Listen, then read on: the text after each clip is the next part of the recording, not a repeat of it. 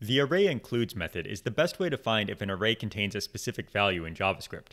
Let's take a look at how you can use includes, as well as why I prefer it over other methods such as index of. So here's an example array that I've defined, and if we want to search this array for a given value, all we have to do is call includes on it. So I'll type out the name of my array, and then dot includes, and I'm going to pass in the value that I want to search for. So in this case, I'm going to pass in a string, and if I wanted to search for the string dog to see if that exists in the array, I'll just pass in dog there, and you can see that array includes is going to return true. So includes is going to check the array and see if the value that you're passing in exists anywhere in the array.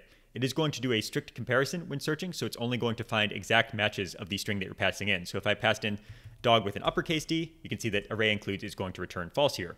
But I can search for any of the values in my array. So if I wanted something like bird here, I can see that that is in the array, but something like lizard is not in the array. So that's basic usage of array.includes. But you can also pass a second argument to the includes method, which specifies where you want to start the search within the array. So let's go back here and search for dog again. So I'm going to have array.includes dog. But in this case, let's say that we want to start the search after the second index in the array. As the second argument, we can pass in the index where we want to start the search. Again, this is the index, so I'm going to pass in 2, which means that we're going to start the search right on bird here. So 0, 1, 2, this is where the search is going to start. And you can see that now array.includes is going to return false, even though it was returning true before. Again, that is because the search is now starting at this second index and then going on for the rest of the array.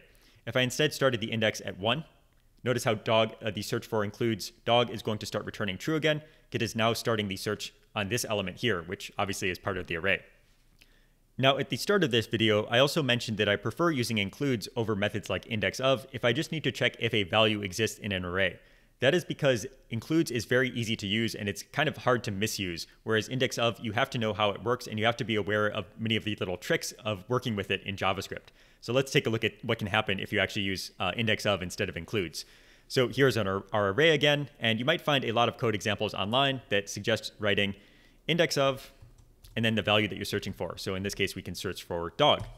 Now the index of method is going to return the index in the array where the value is being found. So you can see that dog is being found at the first index, which is correct. We can see it is right there in the array at the first index.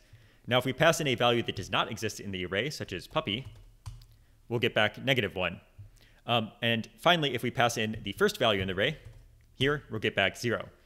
Now, these numbers are helpful if you're searching for the index where something occurs in an array, but they're very easy to misuse if you're writing a conditional statement. So for example, let's say that I wanted to run some code only if cat exists in the array.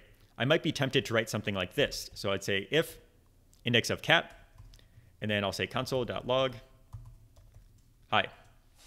When I go and I run this code, though, you can see that nothing has been printed to the console. Um, and if we look at the different ways that index of is being run up here, we can start to understand what is going on. So index of, in this case, is going to return zero because cat exists at the first index. But in JavaScript, zero is a falsy value. So it's going to go and not run the uh, statement here because it is evaluated to false inside of the if statement.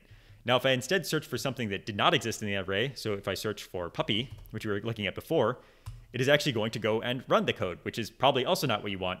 This is a little bit confusing in JavaScript, but it is because negative one, which is the value we're getting back when we call index of here, is actually a true value in JavaScript. Um, so JavaScript treats that as a true value, so it will run the statement for our if statement here. It's very easy to forget this when using index of in JavaScript, which is why I recommend using includes instead. So if we instead say includes here, notice how hi has not been printed to the console. We did not go and run the statement. If I instead say includes for cat, it is correctly going to print things to the console. So it's a lot harder to misuse includes because it is returning a true or false value as you would expect instead of a confusing number value, which JavaScript will then go and convert in its weird ways uh, to either a true value or a false value. So that's a quick introduction to the array includes method in JavaScript. If you need to find if an array contains a specific value, I recommend using includes as the modern and safe approach.